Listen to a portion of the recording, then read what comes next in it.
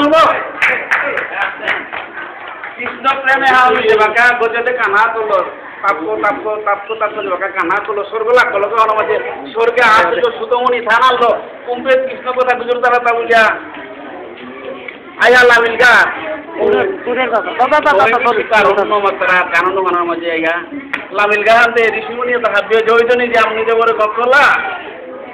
নকরে